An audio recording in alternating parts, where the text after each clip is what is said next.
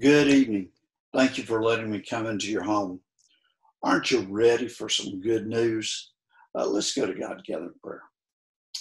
Father in heaven, thank you for being the true and living God that you are. Thank you for blessing us in so many ways. Father, thank you for the blessing of becoming your children. Father, please be with us. Help us be obedient to you and faithful to you. And we pray in Jesus' name. Amen. Ready for some good news? We have heard so much about the pandemic. We have heard so much about uh, crimes. We've heard about so much corruption. We've heard uh, we, we've heard so much negative stuff. Aren't you ready for some good news? If you will, open your Bibles to the book of Isaiah. In Isaiah chapter 49, Isaiah is making a prophecy about the restoration of Israel. But I want to look at some things that he said and make some brief application. Let's pick it up in verse 13. Sing for joy, O heavens, and exult, O earth. Break forth, O mountains, into singing, for the Lord has comforted his people and will have compassion on his afflicted. But Zion said, The Lord has forsaken me. My Lord has forgotten me. Watch the response.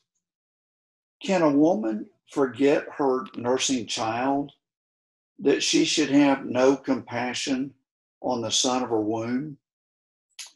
Even these may forget, yet I will not forget you. Behold, I have engraved you on the palm of my hands. Your walk are continually before me.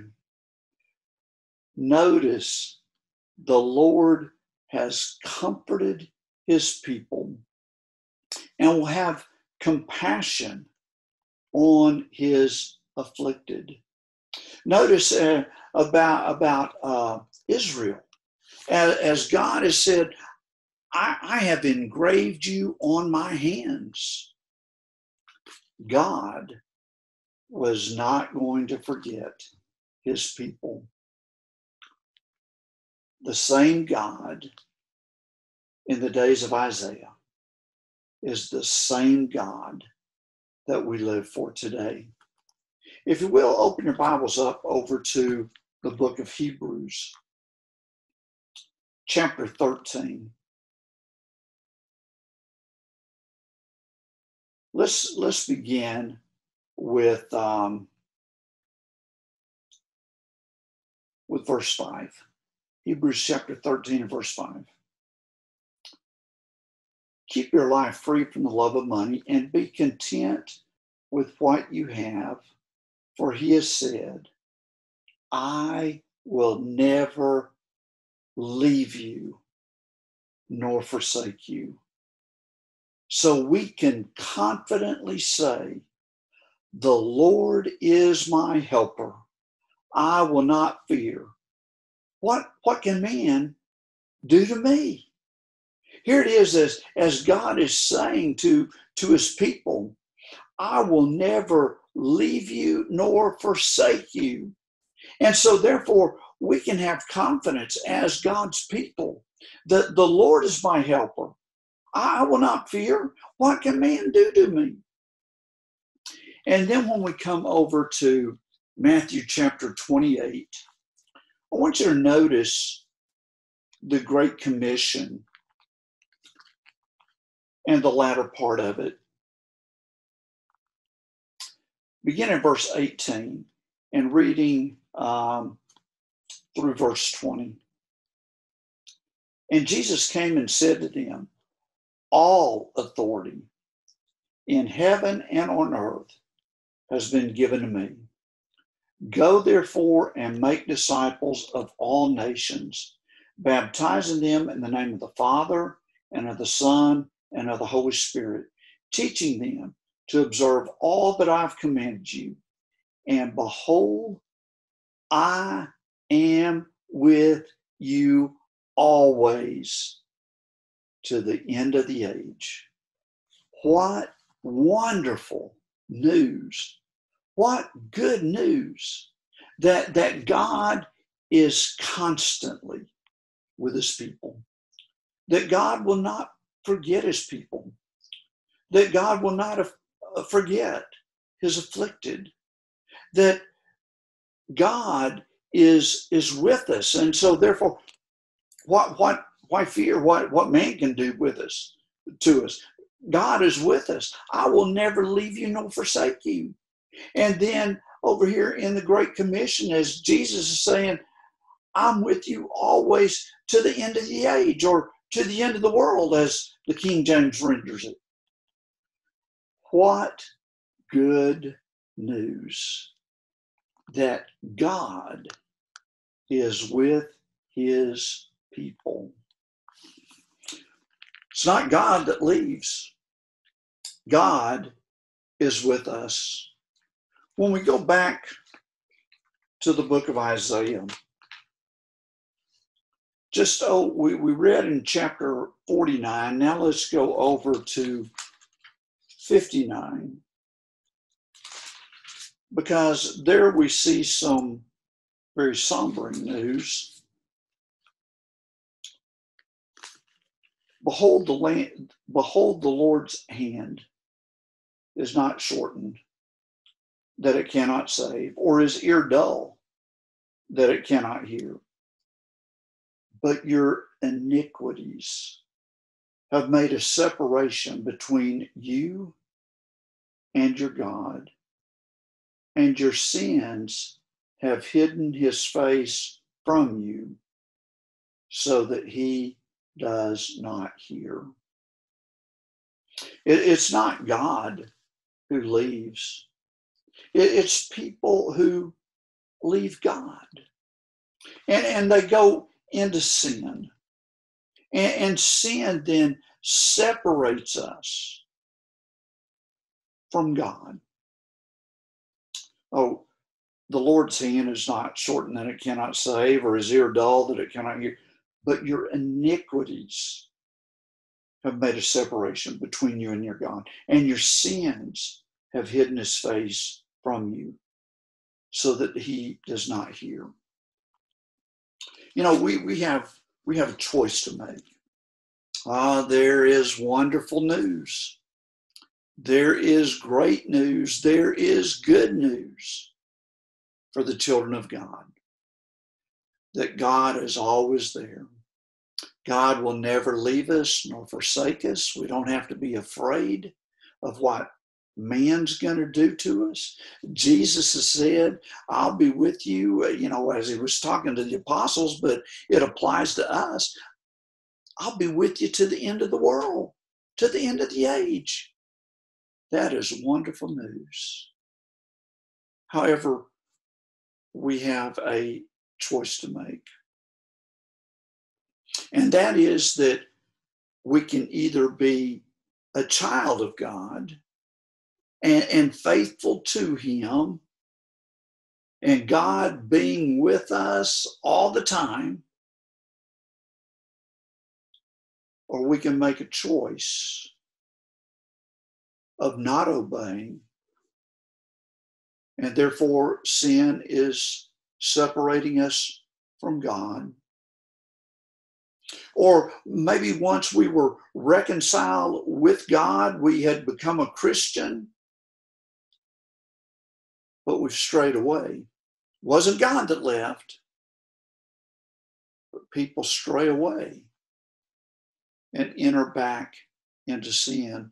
Peter said about how tragic that is. That, that the worst state, in other words, if they go back into sin, the worst state is worse than, than if they'd never become a Christian.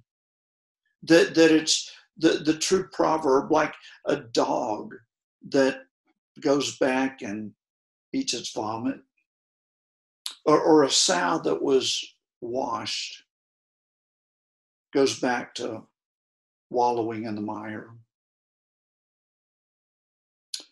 It's time for good news. And, and it's available. It's available to us if we will obey and be faithful to the Lord. Hear his word, believe it, believe in Jesus, believe that Jesus is the only begotten Son of God. Repent of our sins. Turn, turn, turn away from it. A, ch- a change of focus, a change of, of mind that results in a change of life. That we will acknowledge, that we will confess, that we will make the vow that Jesus is the Son of the living God.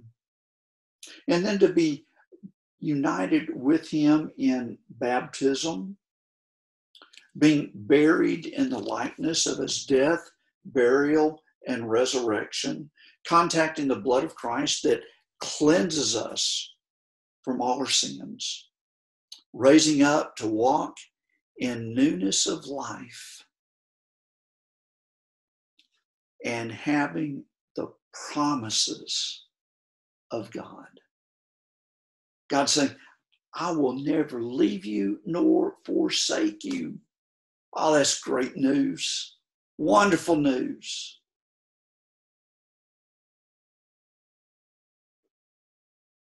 But maybe you've rejected it.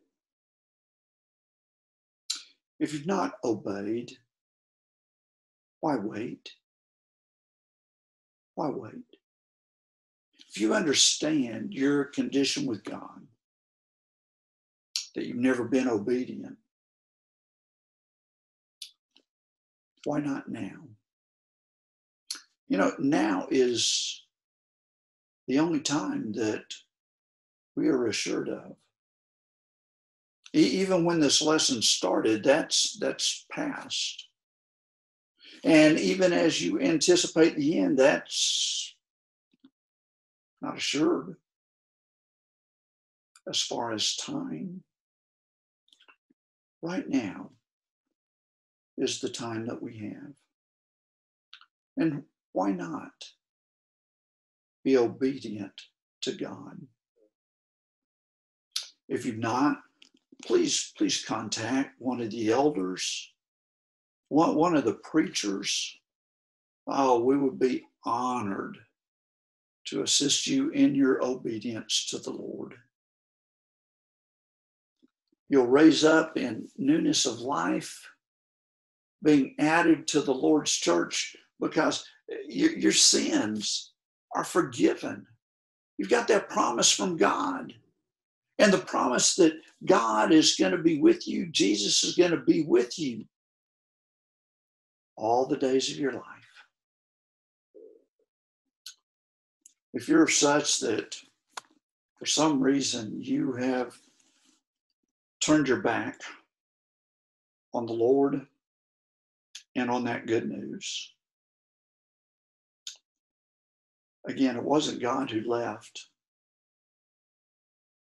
God is still there. It's people who leave God. And God wants you to come home. God wants you to come back to Him.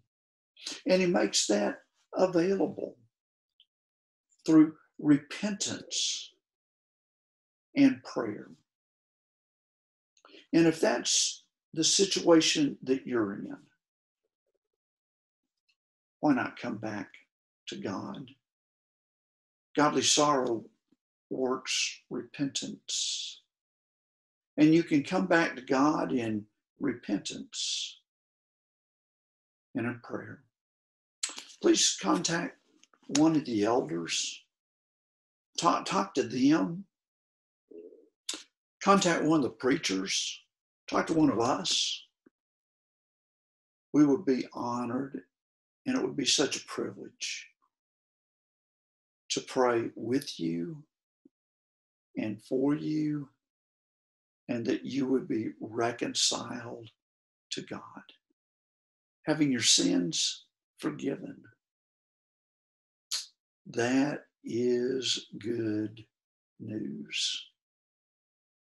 If you're outside of the Chattanooga area, please contact the Church of Christ in your vicinity.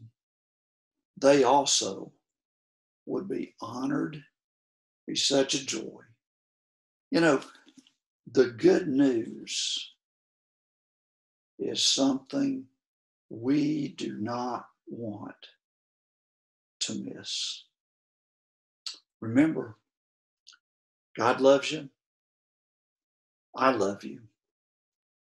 We love you. And that's the way it's going to be. I am resolved.